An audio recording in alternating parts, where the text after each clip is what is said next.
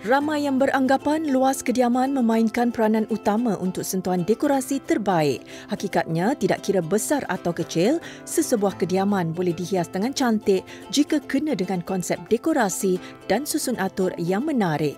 Selain bergantung kepada bajet, proses pengubahsuaian kediaman juga perlu mengambil kira idea dan kesukaan pemilik bagi merealisasikan rekaan dalaman yang diidamkan.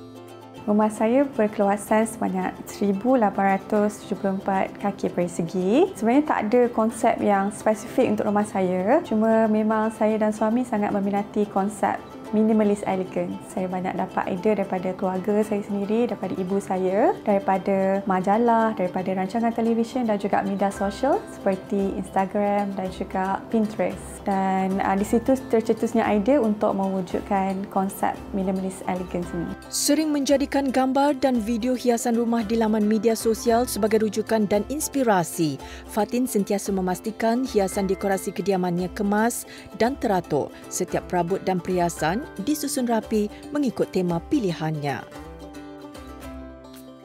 konsep ini menekankan elemen kesederhanaan dan kefungsian. Antara ciri-ciri utama untuk konsep minimalist elegance ini adalah pemilihan warna-warna yang agak neutral seperti warna putih, kelabu, ah, warna keemasan. Kami memilih perabot-perabot yang functional. Perabot-perabot ini memainkan peranan bagi membuatkan ruang itu nampak functional tapi at the same time nampak luas dan tenang. Jadi kami mahukan setiap kali pulang bekerja kita nak suasana yang sangat tenang lah untuk kami berehat selepas seharian bekerja.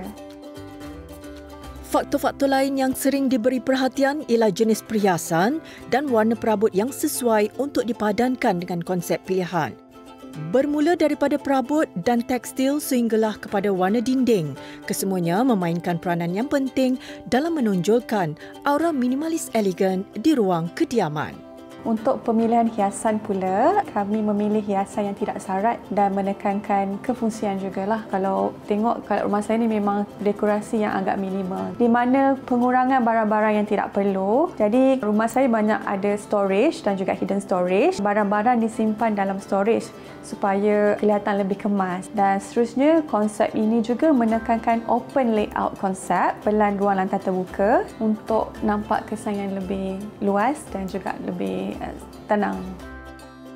Konsep ruang terbuka turut memainkan peranan dalam menyelahkan lagi keluasan rumah.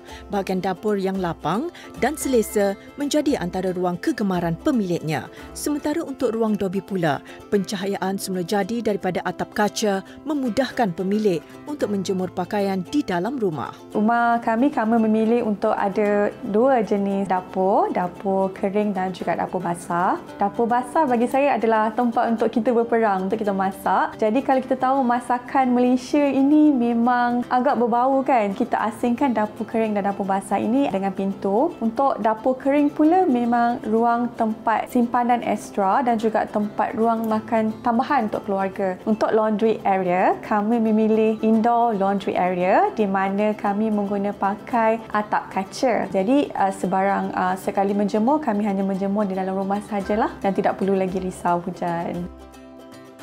Konsep dekorasi minimalis merupakan trend terkini dan semakin popular dalam kalangan masyarakat tempatan. Bagi mengelak pembaziran dan mendapat hasil sentuhan dekorasi yang tepat serta memuaskan, proses pengubahsuaian haruslah dirancang dengan teliti.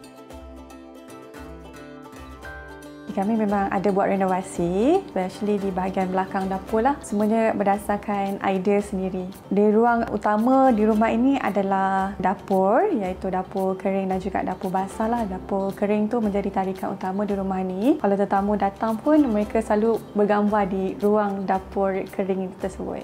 Bagi saya dalam membuat hiasan rumah ini sebenarnya bergantung kepada cita rasa dan gaya hidup masing-masing. Apa yang sesuai untuk keluarga saya mungkin tidak sesuai untuk keluarga lain. Yang penting konsep yang dipilih memenuhi cita rasa dan juga gaya hidup.